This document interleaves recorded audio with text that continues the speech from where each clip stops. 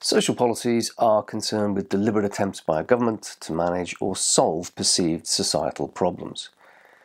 Many social policies are influenced by economics and attempts to resolve social problems that have an economic root. For example, social welfare policies attempt to deal with unemployment or poor housing or lack of access to healthcare.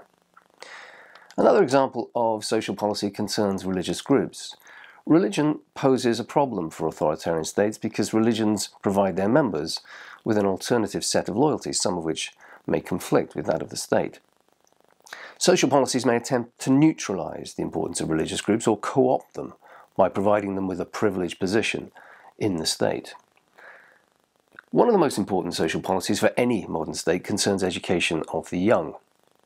Improving general access to education, raising literacy rates, were very common social policies for authoritarian states, both left and right wing, throughout the 20th century.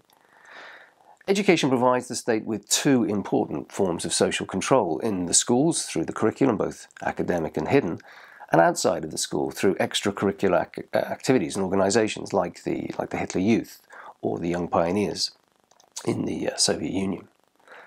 Policies that concern the lives of women are also another good example of how ideology influences the approach of different authoritarian states. Left wing political theory has long had a feminist dimension that explains women's subordination as an inevitable characteristic of capitalism.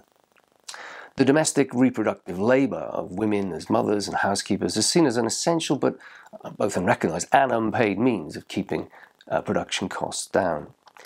As such, the question of female emancipation was very much tied up to the proposed socialist reorganization of the economy. And I didn't want to just draw up plans. I wanted to build an electric power station. That was my mission, and I achieved it.